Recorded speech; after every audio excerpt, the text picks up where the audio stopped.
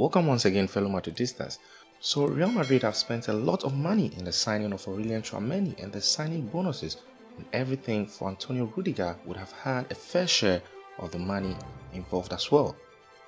But that doesn't really mean that Real Madrid have no money for other signings. They just don't have the roster spots for anyone else.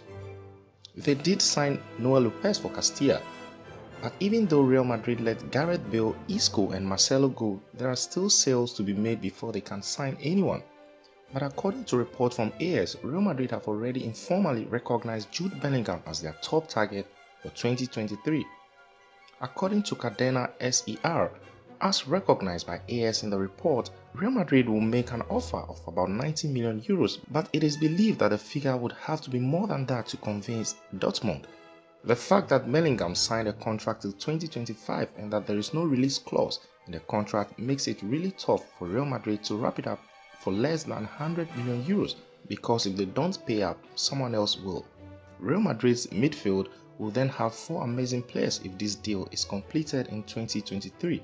Bellingham, Fede Valverde, Eduardo Camavinga, and Aurelien Tchouameni.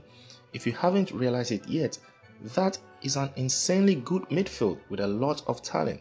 If Real gets it done, their midfield for the next 10 to 15 years is sorted out. But the asking price is a lot, whichever way you look at it. Bellingham is still only 18 years old. Real Madrid spent 25 million on an 18-year-old Eduardo Camavinga. It's a lot of money and I think that if they do end up in signing him, it'll be great. There still are three immensely talented midfielders that can take over from Real's famed trio of Toni Kroos, Casemiro and Luka Modric. That's all for now Los Blancos, like and subscribe for more updates. Thanks for watching.